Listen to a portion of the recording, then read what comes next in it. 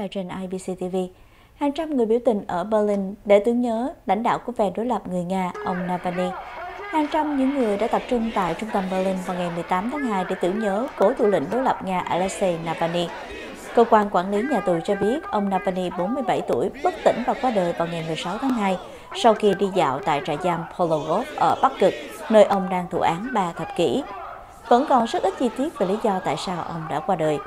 Những người biểu tình tuần hành với biểu ngữ gọi Tổng thống của Nga ông Putin là kẻ giết người và hô vang Navalny không chết, ông ấy bị Putin giết. Nhiều dấu hiệu và tiếng la hét cũng kêu gọi chấm dứt việc Nga xâm lược Ukraine.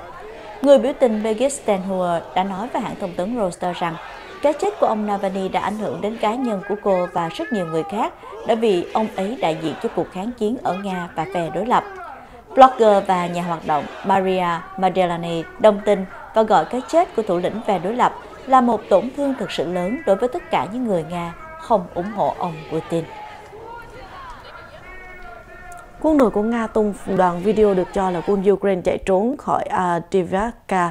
Bộ Quốc phòng Nga đã công bố một đoạn video cho thấy quân nhân Ukraine bị pháo kích dữ dội, cho biết họ đã kiểm soát hoàn toàn thị trấn Adivaka của Ukraine. Ukraine nói họ rút quân để cứu quân khỏi bị bao vây sau nhiều tháng giao tranh ác liệt.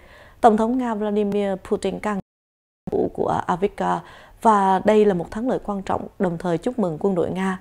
Nga đã coi việc rút quân Ukraine và vội vã và hỗn loạn để lại một số binh lính và vũ khí.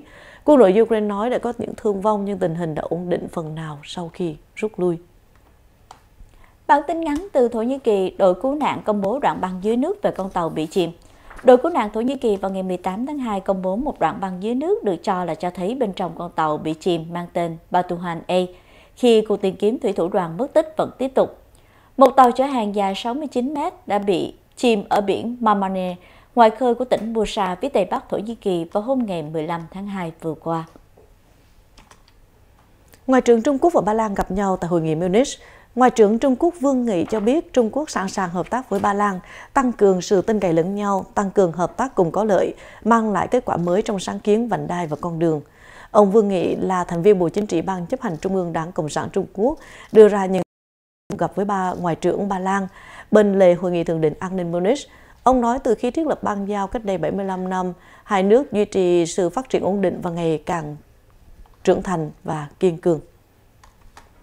Bốn tổ chức NGO trình bày kiến nghị về Việt Nam trước kỳ UPR.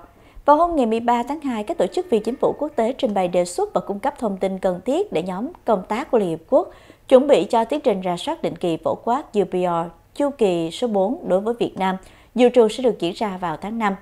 Phát biểu tại buổi họp hôm ngày 13 tháng 2 tại Geneva, Thụy Sĩ, đại diện của tổ chức Văn bút Mỹ Pan America, Văn bút Quốc tế và Trung tâm Văn bút Việt Nam Hải ngoại đề xuất chính quyền Việt Nam nâng cao nhận thức về quyền tự do ngôn luận cho giới nghệ sĩ và nhà văn, đồng thời kêu gọi Việt Nam thực hiện các biện pháp bảo vệ dữ liệu và bảo vệ tự do ngôn luận.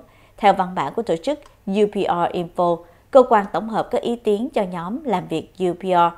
Sự kiện này được xem là một bước quan trọng tạo cơ hội cho quốc gia thảo luận về các vấn đề nhân quyền, chia sẻ những kinh nghiệm tốt nhất trước khi bước vào phiên họp chính thức dự trù vào ngày 7 tháng 5 năm 2024.